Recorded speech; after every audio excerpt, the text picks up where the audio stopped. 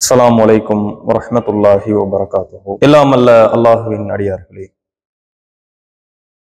அல்லாஹ் ரப்புல் ஆலமீன் உலகத்தில் மனிதர்களை படைக்கிற பொழுது பலவாரியான குறைபாடுகளோடு நிறைகளோடு அல்லாஹ் ரப்புல் ஆலமீன் படைக்கிறது ஒருத்தரை செல்வந்தராகவும் ஒரு சிலரை ஏழைகளாகவும் மற்ற நபர்களுக்கு ஆரோக்கியத்தை கொடுத்தும் நோயை கொடுத்தும் பல இன்னல்களை கொடுத்தும் மனரீதியான பிரச்சனைகளை கொடுத்தும் பலவாரியாக அல்லாஹ் ரபுல் ஆலமீன் மனிதர்களை படைத்திருக்கிறான். அதுவும் ஏழ்மையை பற்றி அல்லாஹ் ரபுல் ஆலமின் சொல்லி காண்பிக்கிற பொழுது பொருளாதாரத்தை கொடுக்கறது நான் தான் அது அதிகமா கொடுப்பதும் நான் தான் ஒரு அளவோடு கொடுப்பதும் நான் தான். அல்லாஹ் சொல்லி காண்பிக்கிறார் அல்லாஹு எபுசுத்து ரிசுக்கல் இமை யஷா. தான் ஆடியவருக்கு அல்லாஹ் ரபுல் ஆலமீன் ரிசுக்கை விசாலமாகவும் தருகிறான். வயக்கதிர் ஒரு அளவோடும் கொடுக்கிறான். இன்னும் அல்லாஹ் சொல்லி காண்பிக்கிறான் இன்னல்லாஹ் எரிசுகு அல்லாஹ் ரப்புல் ஆலமீன் ரிசுக்கை கொடுக்கிறான் மை யஷாவு பி கைரி ஹிசாப். தான் நாடியவருக்கு அளவில்லாமலும் கொடுக்கிறான். அல்லாஹ் தான் நாடியவருக்கு அதிகமாகவும் கொடுப்பான் அளவோடும் கொடுப்பான். இப்போ பொருளாதாரம் என்பது அல்லாஹ்வுடைய கையில இருக்குது ஒருத்தரை செல்வந்தராக்குவதும் ஏழையாக மாற்றுவதும் அல்லாவுடைய கையில இருக்குது. அல்லாஹ்வுடைய நாட்டத்துல இருக்குது. ஆனா இன்னைக்கு இப்ப தற்கால சூழலை நீங்க பாத்தீங்கன்னா சென்னையில அசோக் நகர்ல அரசு பள்ளியில தன்னம்பிக்கையை ஊக்குவிக்கிற விதமாக ஒரு பேச்சாளரை கூப்பிட்டுருக்கிறோம். அவர் வந்து மாணவர்களுக்கு தன்னம்பிக்கையை ஊட்டுவாரு அப்படின்னு சொல்லி ஒரு பேச்சாளரை கூப்பிடுறாங்க. அவன் பேர் மகாவிஷ்ணு. அவனை கூப்பிட்டு உட்கார வச்சு பேச விடுறாங்க. மக்க மாணவர்களுக்கு தன்னம்பிக்கை ஊட்டுங்க. மாணவிகள் மட்டும் அமர்ந்திருக்கிறாங்க. அந்த இடத்துல உட்கார்ந்துக்கிட்டு பேசுறான்.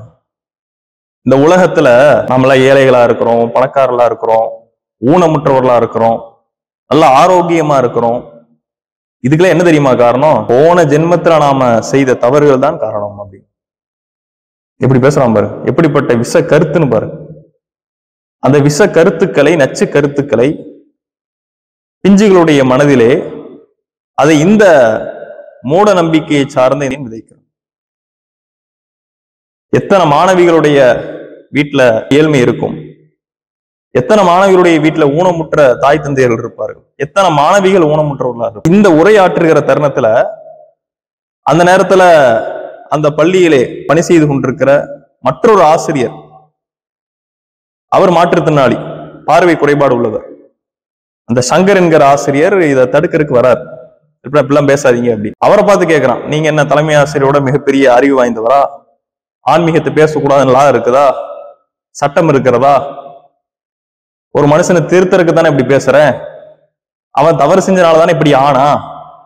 இந்த மாதிரி ஒரு மூடத்தனமான பேச்சுக்கள் எல்லாம் அரசு பள்ளிகளில் உட்கார்ந்து கொண்டு அதுவும் பல குறைபாடுகளோடு ஏழ்மையோடு இருக்கக்கூடிய மாணவர்களாம் அமர்ந்திருக்கிற அந்த இடத்துல இப்படி பேசுறான். இவனுடைய கான்செப்டே என்னன்னா மறுபிறவின்னு ஒன்று இருக்குது. ஒரு மனிதன் இறந்து விட்டான் என்று சொன்னால் அவனுக்கு ஒரு வாழ்க்கை கிடையாது. அடுத்த ஒரு வாழ்க்கை இருக்குது. அடுத்தடுத்தடுத்து வாழ்க்கைகள் அவனுக்கு இருந்து கொண்டே இருக்கிறது. அடுத்த வாழ்க்கையில போன வாழ்க்கையில் அவன் செய்த தவறுகளுக்கு பரிகாரமாக பிராய்ச்சித்தமாக அடுத்த ஜென்மத்துல அவன் வேற ஒரு உருவமாக ஒரு நாயாகவோ ஒரு குரங்காகவோ அப்படி மாறுவான். அல்லது ஊனமுற்ற மனிதனாகவோ அல்லது ஏழ்மையான மனிதனாகவோ இப்படி மாறுவான். அப்படிங்கிறது இவனுடைய கான்செப்ட் இஸ்லாமிய மார்க்கத்தினுடைய கான்செப்ட் என்னன்னா இது போன்ற மூட நம்பிக்கையை அறிவிலியான கருத்துக்களை உடைக்கக்கூடிய விதமாக அமைந்திருக்கிறது. ஒரு மனிதனுக்கு ஒரு தடவை தான் வாழ்க்கை.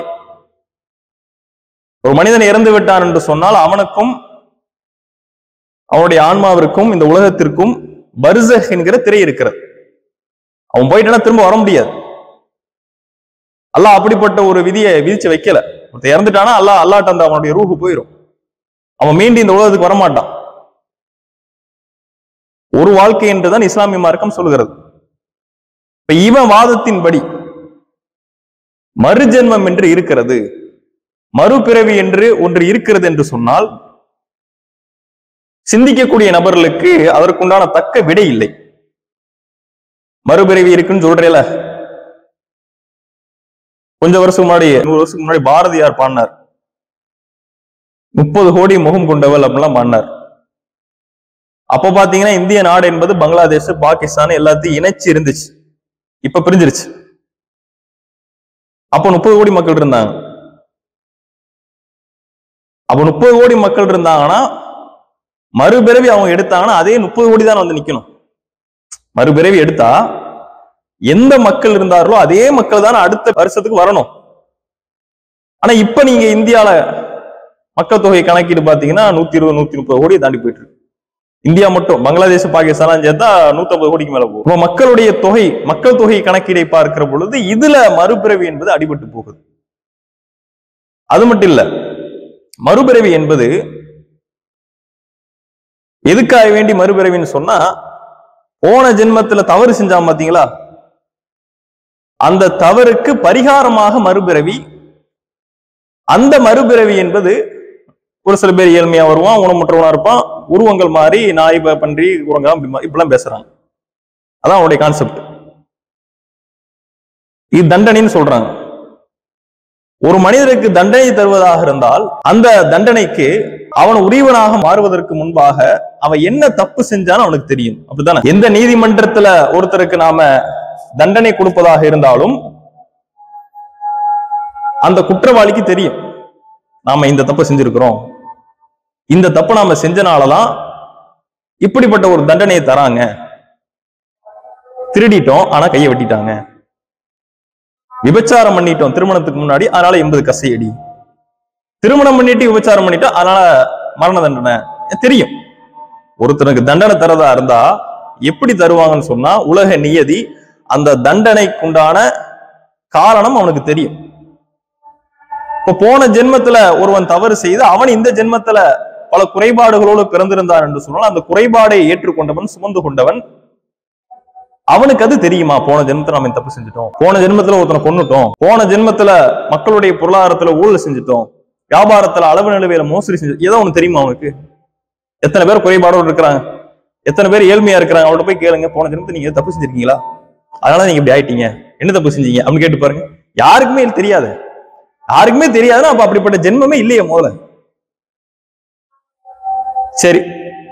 அப்படி போன ஜென்மத்தில் நல்லது செஞ்சுதான் ஒருவர் இப்ப பணக்காரரா இருக்காருன்னு சொன்னா பணக்காரரா இருக்கிறவர் என்ன யோசிப்பாரு? போன ஜென்மத்தில் நம்ம நல்லது செஞ்சோம். இப்ப நாம மிகப்பெரிய செல்வந்தரா இருக்கிறோம். இனி அடுத்த ஜென்மத்துக்கு நாம அதற்குண்டான தயாரிப்புகளை இப்போதிருந்தே செய்ய ஆரம்பிக்க வேண்டும் அப்படின்னு சொல்லி நாட்டினுடைய உலகத்தினுடைய மிகப்பெரிய பணக்காரர்ல என்ன செஞ்சிருக்கணும்? தான் வச்சிருக்கிற பொருளாதாரத்தை எல்லாம் தூக்கி ஏழைகள் கொடுக்கணும்ல? நல்லது செய்யணும்ல? ஆனா இன்னைக்கு பெரும் பெரும் பணக்காரர்கள் தான் இந்திய நாட்டினுடைய பொருளாதாரத்தை சுரண்டி கொண்டிருக்கிறார்கள். பல அநியாயங்களை செய்து கொண்டிருக்கிறார்கள். இதெல்லாம் என்ன விலங்கு இந்த மாதிரி லாஜிக்கான கேள்வி எல்லாம் வைக்கிற பொழுது அதுக்குண்டான பதிலும் இல்லை விடையும் இல்லை. இப்ப இதான் இஸ்லாமிய மார்க்கம் அடித்து நொறுக்குகிறது ஒருத்தருக்கு ஒரு வாழ்வு தான் அடுத்த வாழ்வு கிடையாது. மறுஜென்மங்கிறதே சிந்தித்து பார்க்கக்கூடிய ஒவ்வொரு சிந்தனையாளர்களுக்கும் அது ஒரு மூடத்தனமாகத்தான் தெரியும். அது பிற்போக்குவாதமாகத்தான் இருக்கிறது. இப்ப இந்த மாதிரி மூடத்தனத்திலிருந்து நாம அதுல இருந்து வெளியே வரணும். நம்முடைய பிள்ளைகளுக்கு அதை பத்தி விழிப்புணர்வு ஏற்படுத்தணும். ஒருத்தருக்கு கஷ்டம் இருக்குதா? ஒருத்தருக்கு ஏழ்மை இருக்குதா? ஒருத்தருக்கு பல நோய்கள் இருக்குதா? அல்லாஹ் ரப்பூல் ஆலமீன் அதற்கு அருமருந்தாக தன்னுடைய திருமறை குரான் வசனத்திலே சொல்லி காண்பிக்கிறான். ஒரு நபுல் வண்ணக்கும் பி சில விஷயத்தை கொண்டு உங்களை சோதிப்போம். என்னென்ன விஷயம்? மினல் ஹவுஃப் அச்சத்தை கொண்டு. வல்ஜோ பசியை கொண்டு. ஒனக்சி மினல் அம்பால் வல் அன்ஃபுஸ். செல்வத்தை குறைத்து உயிரை எடுத்து இப்படி பல வழிகளில் உங்களை சோதிப்போம். சமராத் விளைச்சல்களை சேதப்படுத்தி சோதிப்போம். பஷீரி சுவாபிரின் யார் பொறுமையோடு இருக்கிறார்களோ சகிப்புத்தன்மையோடு இருக்கிறார்களோ அவர்களுக்கு நபியை நீங்கள் நச்செய்தி சொல்லுங்கள். சொர்க்கம் இருக்கிறது என்று நச்செய்தி சொல்லுங்கள் அப்படின்னு மார்க்கம் உலகத்துல வா வந்துட்டு அப்படி சந்தோஷமா இருக்குங்கிறக்காக எப்படி உலகத்துக்கு எல்லாம் நம்மளை கொண்டு வரல. உலகத்துல உன்னை படைச்சிருக்கேன். ஒரு வாழ்க்கையை கொடுத்துருக்கிறேன். அந்த ஒரு வாழ்க்கையில நீ எந்த அளவுக்கு வாழ்ற? பல சோதனைகள் உனக்கு கொடுத்து பார்ப்பேன். காசு எடுத்து பார்ப்பேன் விளைச்சல் அறிவு சோதிச்சு பார்ப்பேன் உன் குழந்தைய நான் உயிரை எடுத்து பார்ப்பேன். எல்லா வழியிலும் சோதிப்பேன். பயத்தை காமிச்சு சோதிப்பேன் பசியை காமிச்சு சோதிப்பேன். பல வழிகளில் உன்னை சோதிப்பேன். அந்த சோதனையெல்லாம் கண்டு நீ ஒரு இறைவன் தான் கடவுள் என்கிற அந்த கொள்கையில் உறுதியாக இருக்கிறாயா? என்பதற்காகத்தான் அல்லாஹ் சோதனை கொடுக்குறான். பலஸ்தீனத்துல பாக்குறோம் குழந்தைய பச்சை குழந்தை கையை காணா காலை காணா ஒரு இஸ்லாமியர் அப்படியே தூக்கிட்டு ஹஸ்பண்ட் எல்லாம் சொல்லிட்டு போறாரு. என்ன வழங்குது? அல்லாஹ் அல்லாஹ் தான் எனக்கு பொறுப்பாளன். அல்லாவே போதுமானவன் அப்படிங்கிற ஏன் சொன்னாரு? எங்கிருந்து அந்த உறுதி வந்துச்சு? அந்த மாதிரி தான் அல்லாஹ் சோதிப்பான். எவ்வளவு சோதனைகளை கொடுத்தாலும் நீ அல்லாவினுடைய அந்த நம்பிக்கையில் கொஞ்சம் கூட பின்வாங்காமல் உறுதியாக இருக்கிறாயா என்பதற்காகத்தான் சோதனைகளை நான் தருகிறேன் என்று அல்லாஹ் சொல்கிறான்.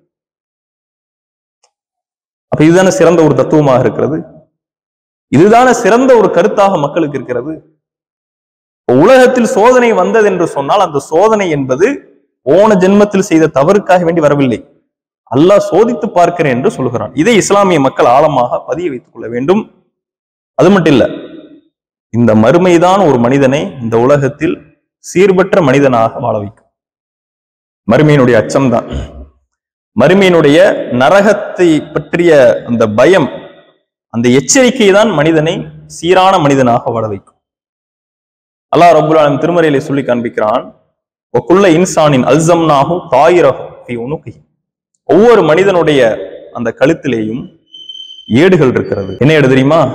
அவன் செய்யற நல்லது தீயது எல்லா விஷயத்தையும் பதிவு செய்து வை வைத்திருக்கிற அந்த ஏடுகள் ஒவ்வொரு மனுஷனுடைய கழுத்திலையும் இருக்கு. அந்த ஏட்டை கொண்டு நாளைக்கு மறுமையில வருவோம் மனுஷன். இந்த உலகம் அழிக்கப்பட்டு இன்னொரு வாழ்வு இருக்குது.